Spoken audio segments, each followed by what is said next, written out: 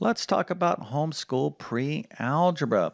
Now, if your child is taking pre-algebra from home, one of the things that they definitely need to understand is the difference between an equation and an inequality. Okay, so I'm going to give you a quick explanation between an equation and an inequality, things that your child needs to understand. But before I do, I'm going to quickly introduce myself. My name is John, and I have been teaching math for decades.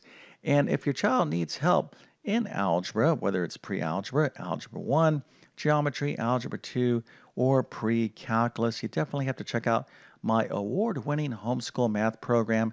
I'm going to leave a link to it in the description of this video. Okay, so here we have an equation 2x plus 1 is equal to 9, and here we have a compound inequality. So we have x is greater than 3 and at the same time less than 7. So let's take a look at the difference between an equation and an inequality right now.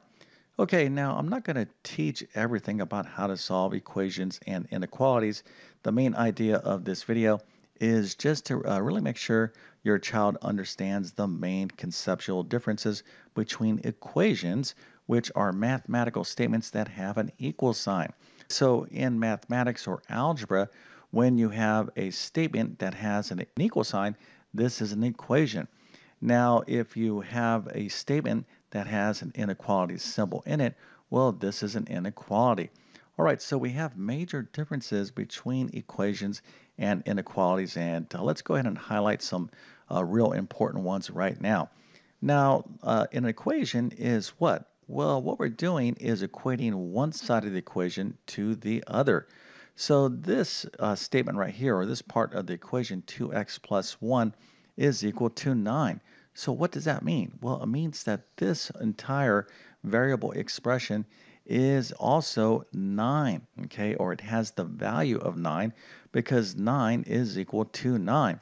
So if the right-hand side of this equation is 9, well, then this right here must also be equal to 9. Now, of course, it says 2x plus 1, but uh, what we're trying to do here is find the value of x, right, such that when we plug it in, this entire side of the equation is 9, okay, because if we find such a value, that value is called the solution to the equation. So let's uh, take a look at how to do this. So when we learn how to solve equations, we're looking for the specific solution to that equation. So to solve this simple equation, all we would, all we would have to do is subtract 1 from both sides of the equation, add down in a column manner. So we're going to get 2x is equal to 8, right? Because the 1, ones over here go away, and we have 9 minus 1, that's 8. And then, of course, we're going to divide both sides of the equation by 2. So x is equal to 4. So if x is equal to 4 is the correct solution, what that means is if I replace this x with 4 and uh, do this math on this side of the equation, hopefully it's going to be equal to 9. So we can check to see if we have the actual solution. So 2 times 4, anytime you are replacing a variable with a number, you always want to use parentheses. So let's go ahead and do that right here. So 2 times 4 plus 1, is this equal to 9? Well, 2 uh, times 4 is 8. So 8 plus 1 is 9. So 4 indeed is the solution. Now, the main idea here is that we have one number that makes this true. Okay, so x is equal to 4 is the solution. In other words, we don't have multiple solutions here. We have one number that uh, satisfies this equation. Now, in algebra, you can have equations that have multiple solutions, but uh, what I want you to kind of focus in on is that when we're dealing with equations, generally speaking, you're going to have a finite number of solutions, right? You're not going to have an infinite number of solutions. You're going to have like one, two, three, four uh, numbers that are going to be the answer to that equation. And this is in contrast to an inequality.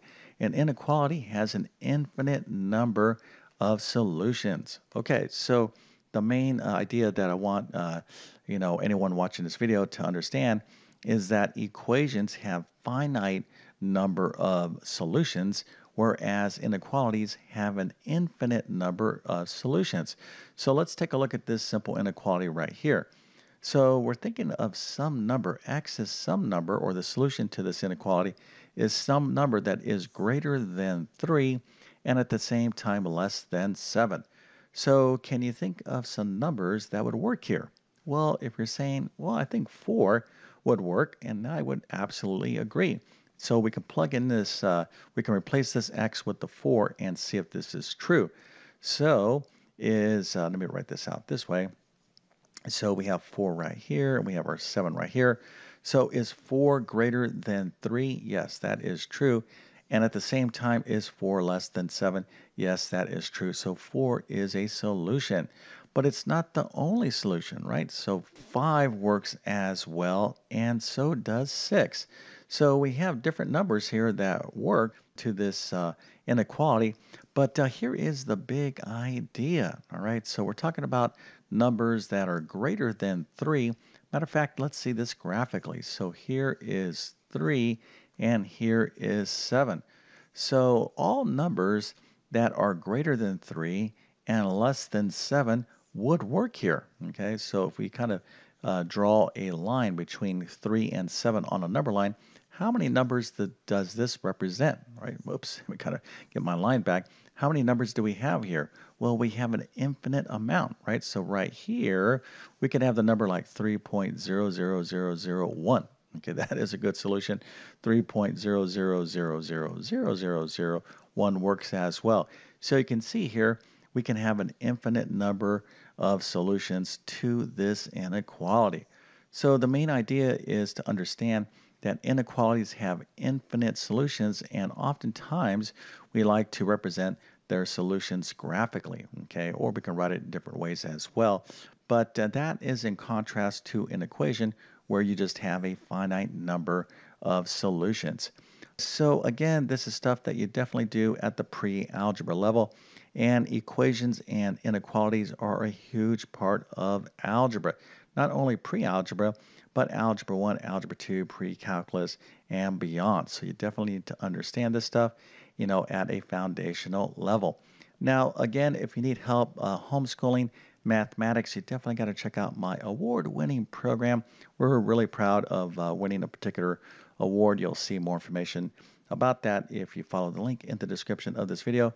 Matter of fact, uh, this is our fourth year in a row winning the middle and high school math category. Okay, so with all that being said, I definitely wish you all the best in your homeschooling adventures. Thank you for your time and have a great day.